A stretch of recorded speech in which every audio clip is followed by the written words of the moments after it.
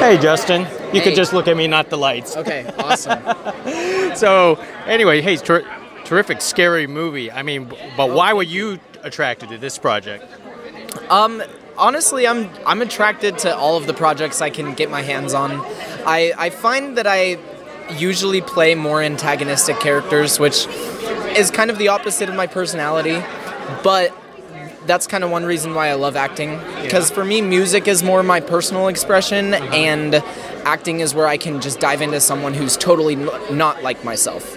So that's why I love playing villains and not the nicest characters and stuff like that. Well, tell us more about your characters. I mean, what, what what's so special about your character? Like, hey, you know what? I want to play this in this horror film.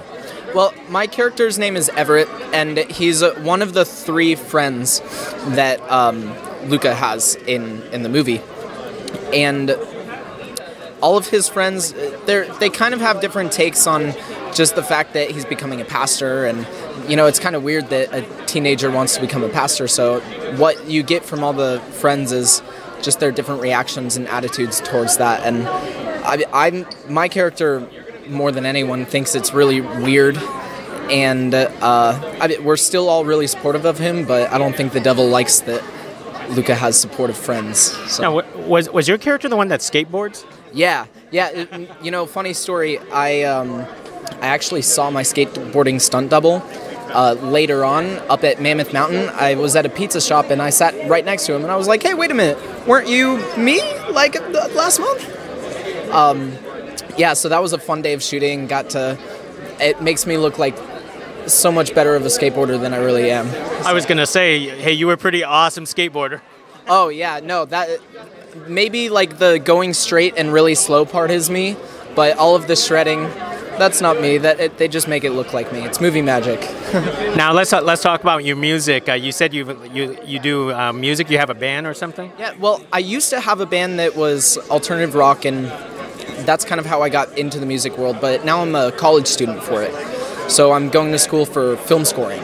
So it, that's kind of a totally different avenue that I'm pursuing at the same time.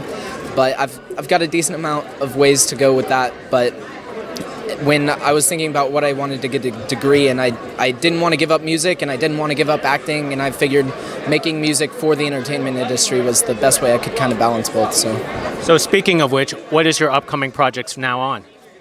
Most recently, I uh, just shot an ABC pilot that's a spinoff of The Goldbergs. Uh, I don't know if it's gonna get picked up yet, but look out for that. I think it's called Schooled.